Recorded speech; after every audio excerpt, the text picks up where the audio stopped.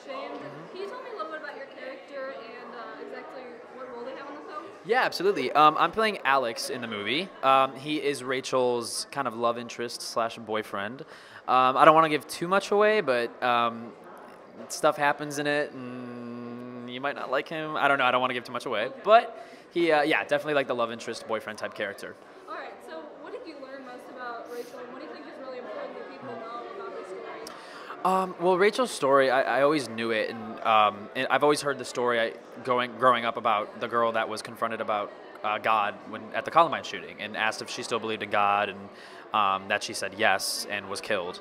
Um, and I think what's so powerful about her story, and um, just in, in the film in general, is what is that she was not a perfect person, and um, that she she found she found God, and and she she struggled just like the rest of us. Everything that we all struggle with, and teenagers especially, growing up, um, you know, the hardships you go through, and the the dark times, the good times. You know, she she struggled a lot with her faith and with other stuff. And I think that it's powerful that through all that, she never lost her relationship with God and was only strengthened by it. And um, I think that's I think a lot of people can identify with that.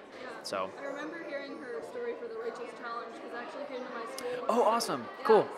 Yeah. So anyway, so to someone that's thinking about coming to the film and is not really sure if this is the kind of thing, maybe they are not Christian, what would you say to them? I would say that this film's definitely for everyone. Um, I'd say that it's it's not just for. I don't think it's just for Christians. I think it's a movie that applies to everyone, and everyone can be inspired by it.